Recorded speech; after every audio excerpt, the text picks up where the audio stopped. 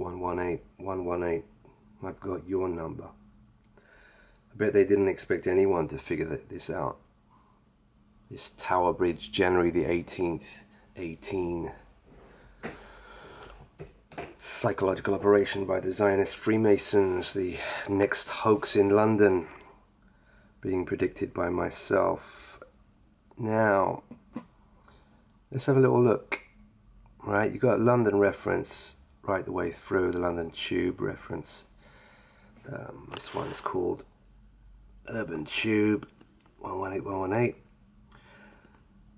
January the 18th, 2018, 01 18 18 or 2018 which is 1118 so it's 118 118 1118 or just or simply read straight it's 11818 it's the only date that does that okay now let's have a look um, hmm okay this is part of that alfresco urban tube advert for 118118 so Battlefront Modding sent me this one.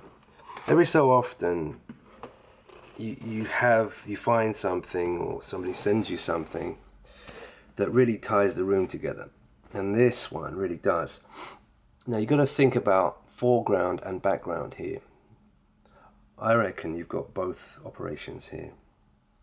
The first one in the foreground is the 118118. That's the Tower Bridge, January the 18th. That's Thursday in what, three days' time. Explosion, boom.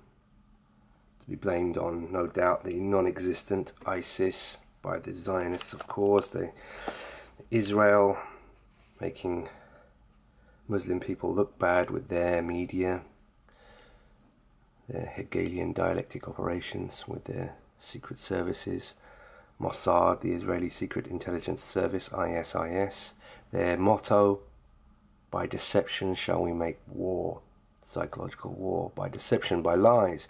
Just the very look of this guy in this is just telling you there's something going on, something insidious. And guess what? The latest Insidious film stars, and all of Insidious films star this Jewish woman here, Lin Shaye, as Elise Rainier. Spelt exactly the right way. There it is, Mount Rainier. There it is, Mount Rainier. Seattle and Mount Rainier. Oh, it's just a coincidence, right? Yeah? That she plays Elise Rainier. Hmm, no coincidence. Let's get back to it. Right, here we go. So, you got the Tower Bridge, January the 18th, 2018. Operation in the foreground. You've even got the date for it. Blatantly mocking you. They figured that no one would figure this out. No one. And in the background, you've got the Seattle false flag on 322.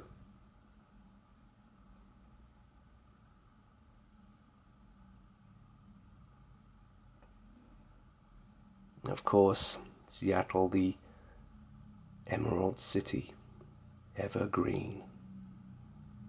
Seattle, Emerald Green 322, March the 22nd.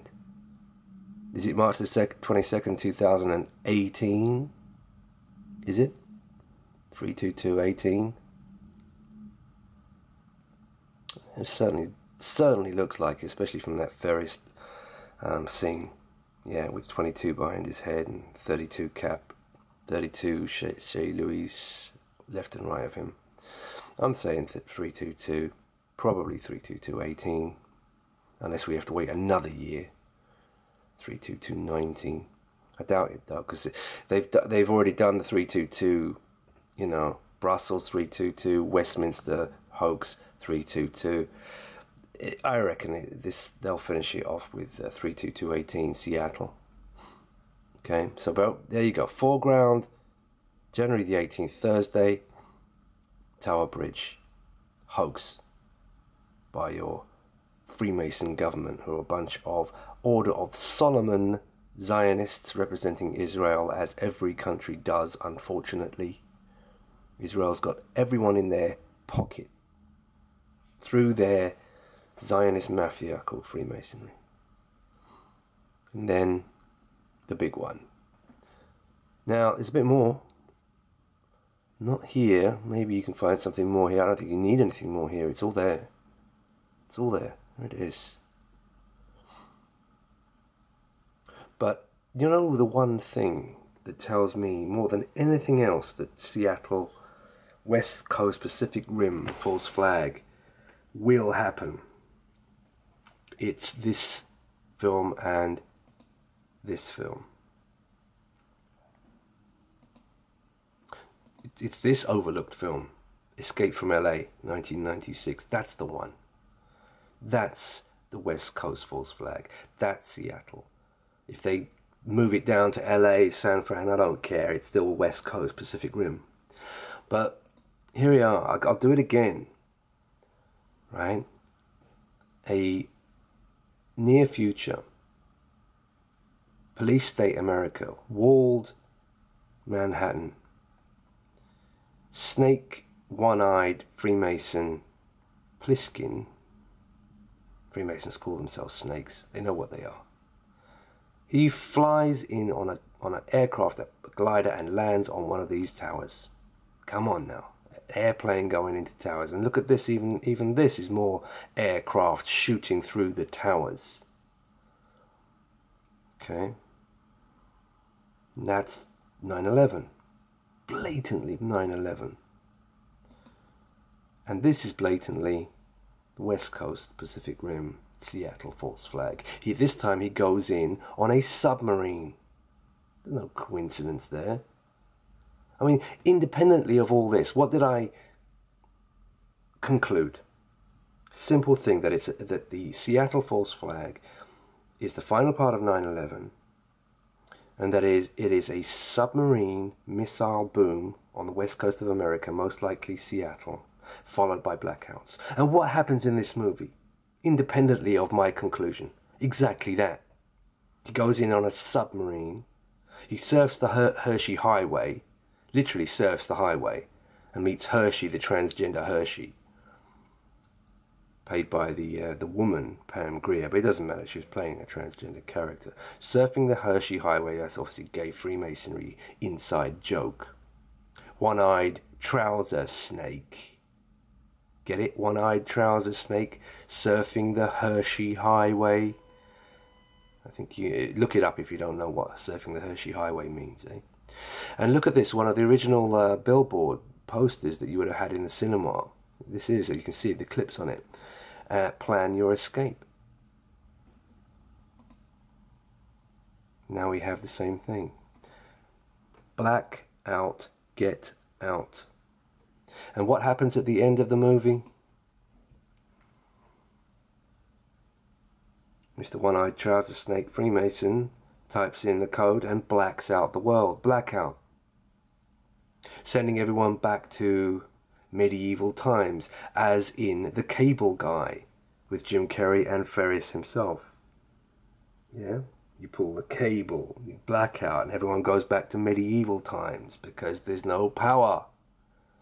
And of course, that's just your friendly local Zionist government turning out the lights in the power stations and then blaming it on some external threat that doesn't exist, like Kim Jong un from uh, North Korea, who doesn't mean anything bad to anybody. But hey, you believe the media, right? You believe the Zionist media, you believe any bollocks they come out with. So, anyway, that's what you're going to get. And then off we go, eh? After that, we have lockdown, martial law, madness. God knows what they've planned afterwards, but uh, telling you. LA, escape LA, escape America. Plan your escape. LA, your escape. Get out, lights out like the other movie. They give you enough hints. if you're clever enough, or if you can find my channel.